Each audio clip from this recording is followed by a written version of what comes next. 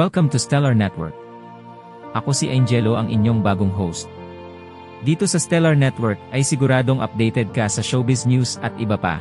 Sa mga balitang umiikot sa mundo ng showbiz, may mga haka-haka at spekulasyon na lumalabas tungkol sa posibleng pag-amin ni Kim Chiu at Paulo Avellino sa kanilang relasyon, bago pa ang pagsasahimpapawid ng What's Wrong with Secretary Kim Peach.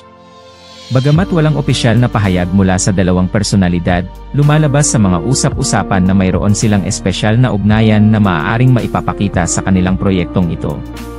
Ang posibleng pag-amin ng dalawa sa kanilang relasyon ay nagdudulot ng excitement at interes sa kanilang mga tagahanga. Ang chemistry at tambalan ni Kim Chiu at Paulo Avellino ay matagal nang pinag-uusapan sa showbiz, at ang pag-amin ng kanilang tunay na damdamin ay maaaring maging isang magandang pagkakataon para sa kanilang mga tagahanga na mas makilala pa sila. Sa mga darating na araw bago ang airing ng kanilang proyekto, marami ang nag-aabang at umaasa na mabigyan ng linaw ang mga usapin tungkol sa kanilang relasyon.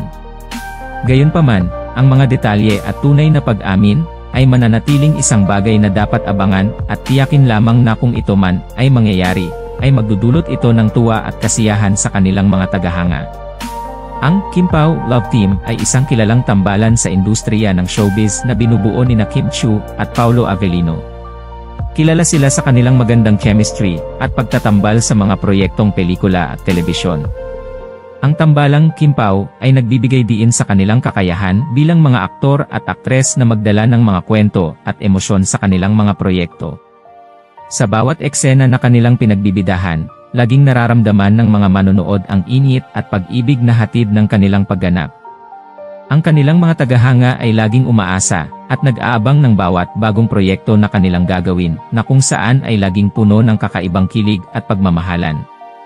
Ang Kimpao Love Team ay patuloy na pinag-uusapan at sinusuportahan ng maraming tao sa loob at labas ng showbiz na nagpapakita ng kanilang patuloy na impluensya at popularidad sa industriya.